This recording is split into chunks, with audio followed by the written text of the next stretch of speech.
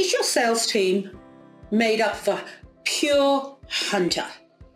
If so, that might be working against your business and that's why you're not realizing the bottom line results that you should. Hi, I'm Suky. Welcome back to the channel. If you want to know every time I upload new content, click the subscribe button and you'll get notification each time. So why do I say a team full of hunters might actually be wrong for your business? Well, we have to back up a second um, and just get the definition of a hunter. What does that actually mean? And some of the traits that they'll demonstrate, and this is by no means an exhaustive list, um, but they're going to be aggressive.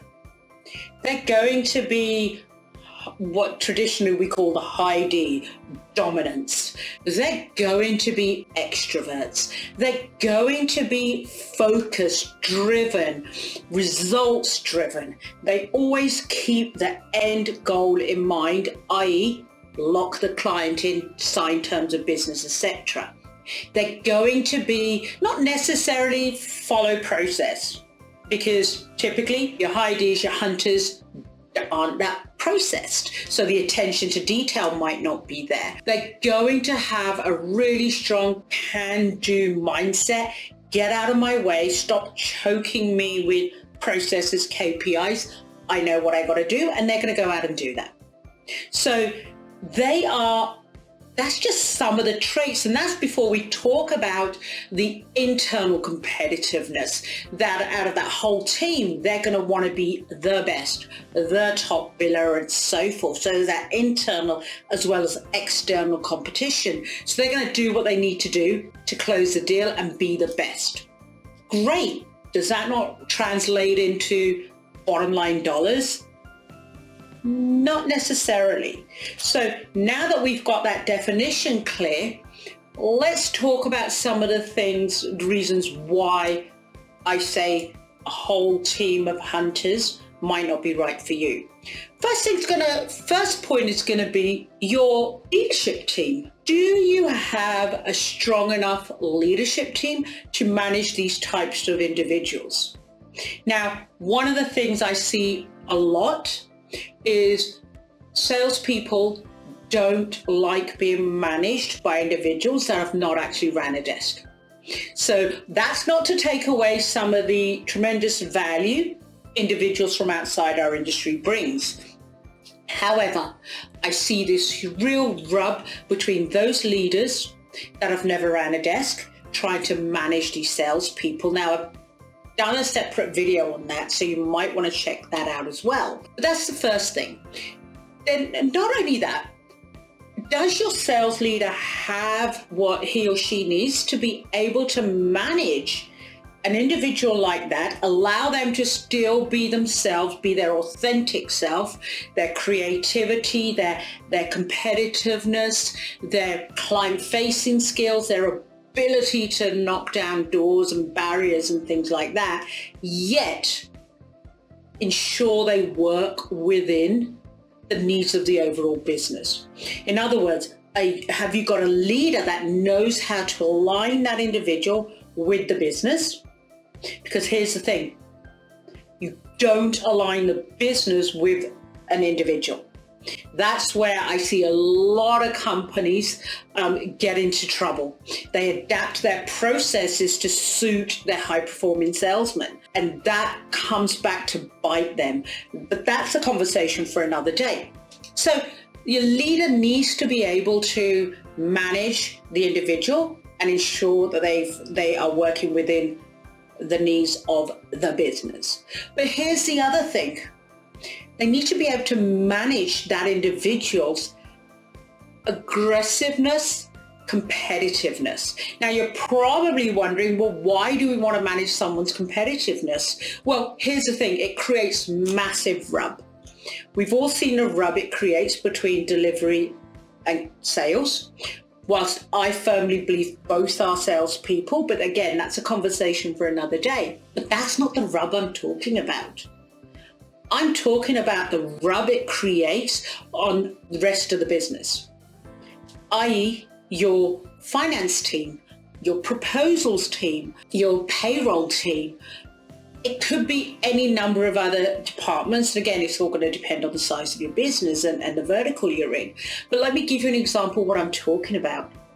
Salespeople typically don't like hearing the word no and they don't like saying no to a client because the fear is, well, if I say no, I'm not going to close the client. So one of the biggest ones I see, and it again doesn't matter what industry you're in, and there is an argument to be made that clients do use agencies for this purpose, but it's cash flow.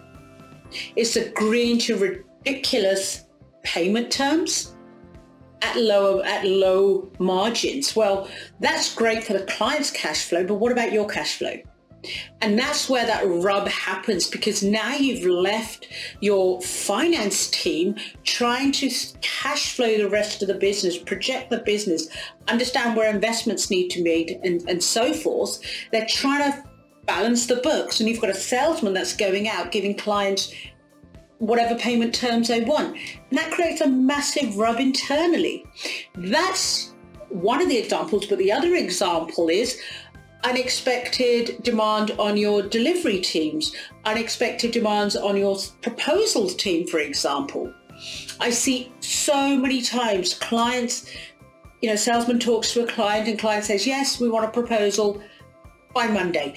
And they will bring it back into the business. They'll expect your proposals team to put that proposal tender together by Monday. Why do we allow them to do that? And that's before we start talking about especially if you're in that temp space, agreeing Friday afternoon, saying to a client, great, you want 10 people starting Monday, not a problem. The pressure that creates is immense. So that's the type of rub that I'm talking about. But here's the thing. What can you do? What can you do? Because we all want those individuals that are closing business.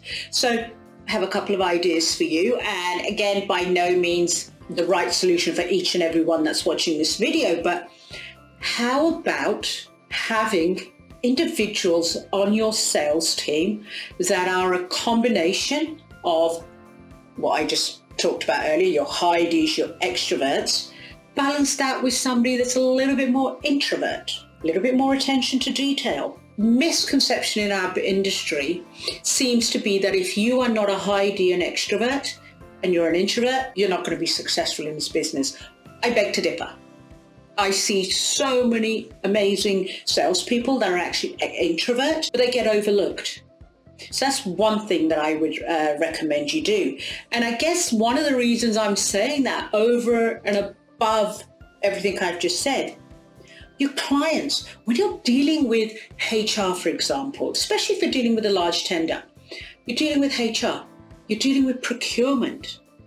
You don't necessarily want that high extrovert person pressurizing them. You want that salesperson to be able to work with them, to be able to recognize uh, the personality traits, to be able to bring the best out of that individual, to be able to work at their pace. But all, not only that, the attention to detail part. Because again, I talked about an internal rub. When you have those two profiles, salesperson and talking to an introvert who is also one of the decision makers, there's inevitably that rub. So when you have a balance in your team, it allows you as a business to determine who's the best person to close that particular deal. Now again, that's a different rabbit hole that I'm not going to go down here because I know that's going to create a lot of internal questions and so forth. But that's just some of the things that you can do. As always, if you found this content of value, I'd love to hear your opinion. So please leave a comment below. If you want to be notified every time new content is uploaded, please hit the subscribe button and you'll get a notification. And of course, if you want to talk to me and you may have a situation in your team at the moment, hey, you may disagree and you want to talk to me. Love to hear it. So feel free to drop me an email um, and we can arrange a time to jump on a call. On that note, thanks ever so much for listening and I will see you in the next video. Bye for now.